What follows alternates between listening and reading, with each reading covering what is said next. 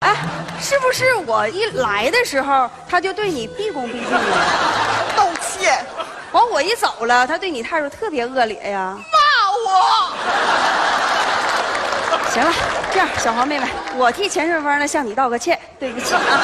他呀，这是在跟我装人呢，知道吗？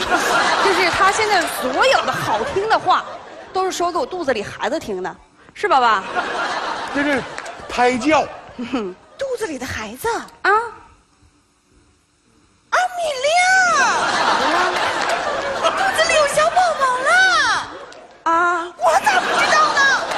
不可能啊！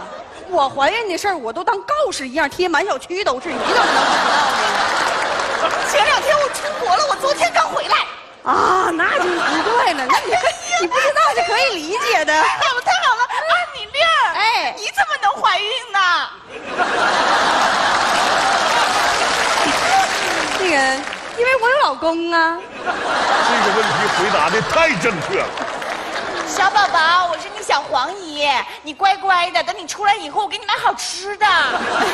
对了，二米亮，啊我告诉你啊，你现在你宝宝你正处在那个胎教阶段，你知道不？你千万别让宝宝听见别人吵架，要是遇见爱吵架的人呢，你就离他远一点，你知对道，不知道实在？离不开，你就出去遛个弯。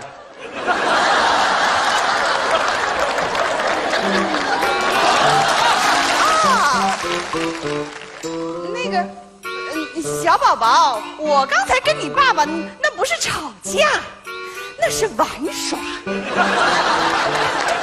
对，对，宝宝，爸爸跟华姨在在闹玩呢。对对，我刚才呀，我故意挡在你爸爸车前面，我挡，我挡，我挡挡挡。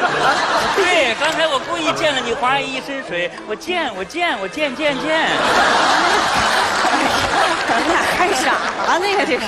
宝宝，哎呀，每个人啊都有自己的爱好。是你看你的姥爷就喜欢锻炼身体，你姥爷锻炼的是腿，我跟你黄阿姨锻炼的是嘴。不信你听，红鲤鱼与绿鲤鱼与驴。耶。说就说，别把老把我带上。行了行了，哎呀，我也出汗了，啊这锻炼的目的也达到了。来，这个道具我还给你。你拿着吧哎。呀，不用，你拿着吧，我走了啊。那明天接着练哎，好嘞等。会儿，等会儿，明天还接着练呢。啊。啊，你明天要接着跟他练，二明这要不在场，你还插不上嘴。陈顺风，我算看明白了，啊，当着孩子面啊，你表现的是太地道了。只要一背着孩子，你太不是东西了。是我胎教，胎教是你要教育胎儿，现在我怎么感觉是胎儿教育你呢？人前背后你得表里如一，你那毛病得改。行了，爸，别说他了，他改啥呀改呀？他这辈子他也改不了了。行了，钱顺风，你还是按咱们之前的规定，你搬出去吧，等孩子十八岁你再回来吧。媳妇儿啊，你别说了，哎呦，我错了。走。你站住！二米粒儿，这事我得说你了啊。我你是怀孕了，但是你怀孕，人家钱顺风是立了汗马功劳的。说搬走就搬走了啊！一走十八年，孩子能没有爸爸吗？不就是刚才我们俩吵了个架吗？有什么呀？行，这事儿啊，我搬走。小黄妹妹，你可不能搬走，这事跟你没有关系。哎，孩子是我的亲生的，哎，我要搬我搬，你别说十八年、三十八年，我不含糊。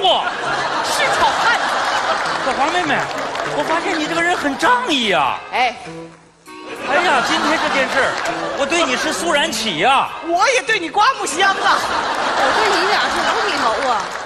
你知道吗，小土豆啊啊，你可不能搬走。啊你要搬走了，我就孤独了。啊我在小区里少了一个强有劲的对手。是呢，这段时间小黄妹妹出国了，我就觉着小区里缺了点什么。是不是？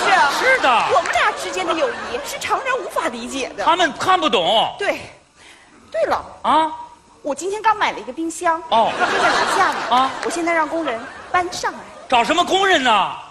找工人还得花钱，咱是哥们儿啊，这事儿交给我。哎，小土豆，你这样我就不好意思了。什么不好意思的这样呢？哎呀花钱也是我花你这个人，真有钱啊哎呀，我跟你说，我说你。爸爸，哎，我觉得他们俩这友谊，正常人是不太能理解。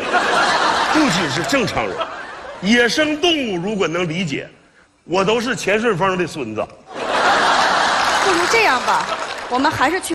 好的。